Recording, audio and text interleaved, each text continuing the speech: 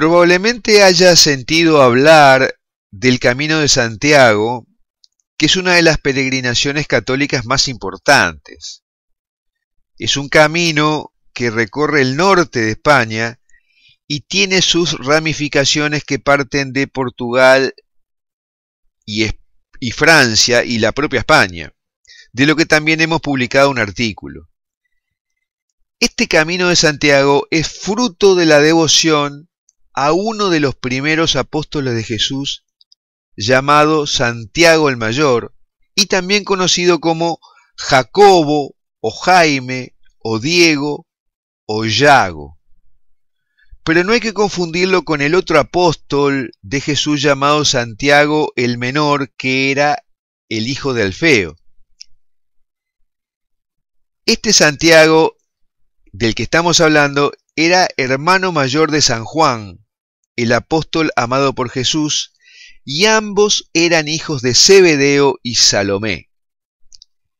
Este Santiago tuvo la primera aparición cristiana que se conoce en la tierra. La Virgen María se le apareció en el año 40 en España, siete años después de la crucifixión de nuestro Señor. Y cuando la Santísima Virgen estaba viva y supuestamente estaba viviendo en Éfeso con su hermano Juan. Recordemos que se estima que la Santísima Virgen tuvo su dormición en el año 63. Esta aparición bien pudo haber sido una biglocación, como sucede con muchos santos. El caso más espectacular ha sido el del Padre Pío. Como consecuencia de esa aparición de la Santísima Virgen a Santiago, fue que surgió la advocación de la Virgen del Pilar. Y luego sucedieron una serie de milagros a partir de que encontraron el cuerpo de Santiago en lo que ahora es Galicia, y específicamente Compostela. Y los milagros que sucedieron ahí dieron forma al camino de Santiago o camino jacobeo. La festividad de Santiago el Mayor es el 25 de julio y la aparición de la Virgen habría ocurrido 2 de enero. ¿Y por qué un camino de Santiago en España? Santiago fue uno de los primeros que recibió la llamada de Jesucristo cuando estaba pescando en el lago de Genesaret junto a Juan. Y ambos, a quienes Jesús había denominado los hijos del trueno, estuvieron en momentos importantes del ministerio de Jesús, como durante la transfiguración en el monte Tabor y en la oración en el huerto de los olivos. Pero luego de Pentecostés en el año 33, después de Cristo, los apóstoles se dispersaron por distintos lugares a evangelizar. Y Santiago predicó en Palestina, Tiro, Sidón, Grecia e Italia, y específicamente Roma. Y luego cruzó el Mediterráneo y desembarcó en Hispanía, actuales España y Portugal, para predicar el Evangelio. La Virgen María le había prometido al apóstol Santiago que en aquel lugar donde más se convirtieran a su hijo, ella se le manifestaría. En España, Santiago pasó por Asturias, Galicia, Castilla y Aragón, donde está situada la ciudad de Zaragoza a orillas del río Ebro. Allí Santiago hizo muchas conversiones y eligió como acompañantes a ocho hombres con los cuales recorría de día los territorios y descansaba de noche. Y el 2 de enero del año 40, Santiago se encontraba en profunda oración con sus discípulos junto al río Ebro, cuando oyó voces de ángeles que cantaban Ave María, gracia plena, y vio aparecer a la Virgen, Madre de Cristo, de pie sobre un altar de mármol.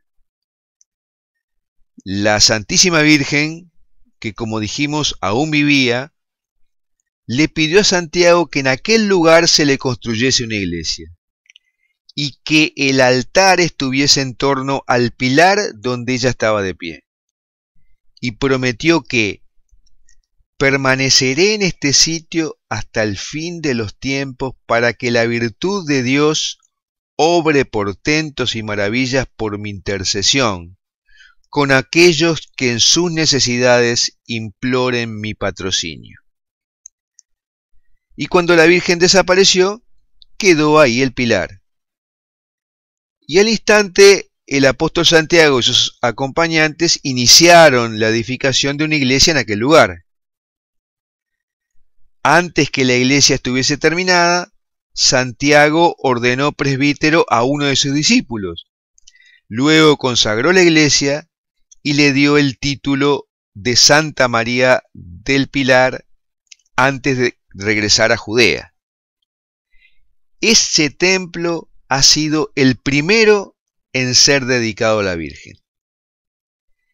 Y este es un lugar de peregrinación famoso en el mundo entero, que no fue destruido milagrosamente en la Guerra Civil Española del año 36 porque las bombas que se lanzaron no explotaron y se pueden ver hoy expuestas en el interior de la basílica. ¿Y por qué regresó a Judea Santiago? Cuando María ve cerca su muerte, recibe la visita de Jesucristo.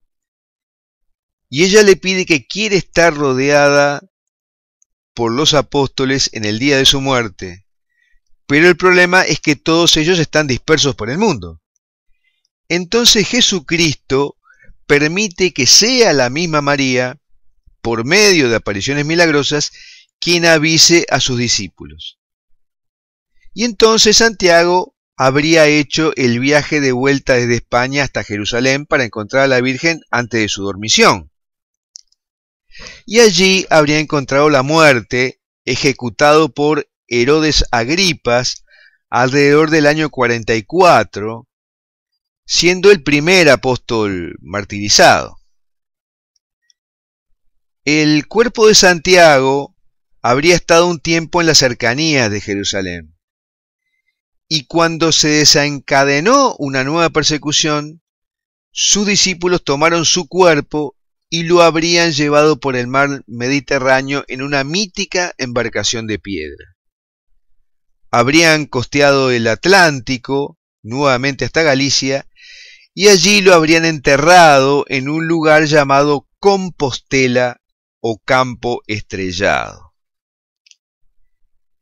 Y alrededor del año 813, en tiempos del rey de Asturias Alfonso II el Casto, un ermitaño cristiano llamado Paio le dijo al obispo gallego Teodomiro que había visto unas luces merodeando sobre un monte deshabitado.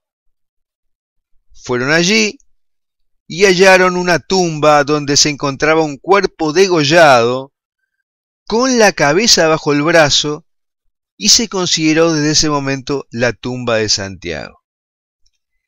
El rey Alfonso II y sus descendientes convirtieron al apóstol en un símbolo del combate contra el Islam porque era su mayor adversario en ese momento. Y en el año 859 el rey Ordoño I dijo haber obtenido la victoria sobre los moros musulmanes porque se le apareció el apóstol Santiago Matamoros naciendo así la imagen de Santiago Matamoros que se popularizó a lo largo de la ruta jacobea o Camino de Santiago. Desde ese momento, numerosos fieles recorren el Camino de Santiago que les conduce a su tumba en Santiago de Compostela con el fin de pedir perdón por sus pecados. De esta manera, Santiago Apóstol preparó el camino de la Virgen María desde España hasta las Américas. Porque los navegantes españoles que fueron a la conquista del Nuevo Mundo lo hicieron llevando diversas advocaciones de Nuestra Señora como insignia. En foros de la Virgen María hemos publicado un artículo sobre esta aparición de la Virgen a Santiago y otro de la devoción a la Virgen del Pilar. Ambos tienen mucho más información sobre el tema del que he hablado, inclusive los milagros producidos por Santiago en España.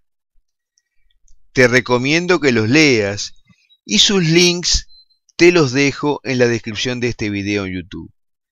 Me gustaría también tener tu comentario sobre lo que hemos hablado aquí.